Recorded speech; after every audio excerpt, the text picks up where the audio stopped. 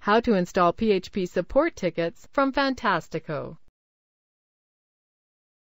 This tutorial assumes you've already launched the Fantastico application. Now let's learn how to install PHP support tickets. Click the PHP support tickets link here. This is the PHP support tickets installation screen. PHP Support Tickets is a simple one-admin support ticket system featuring self-registering, emailing to admin, and attachments. Click the New Installation link here. Enter the name of the directory you want to install in, or leave this field blank for installation in the root directory. Enter an admin username and password in the following boxes.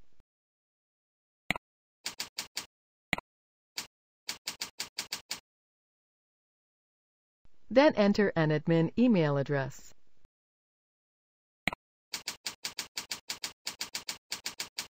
Enter POP account username and password.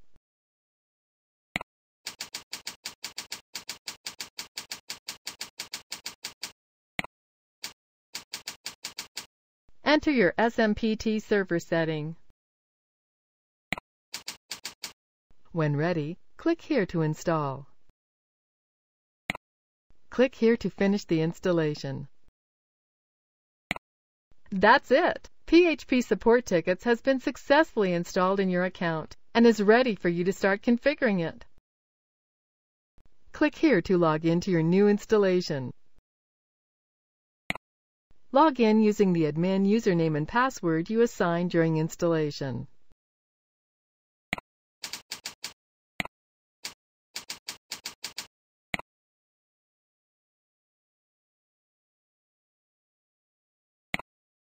Your new installation is now listed here on the script's homepage.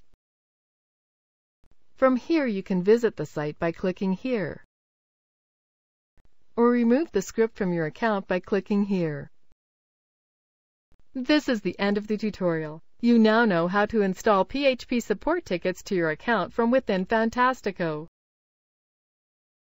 Thank you for watching our tutorial. Be sure to let us know if you have any questions.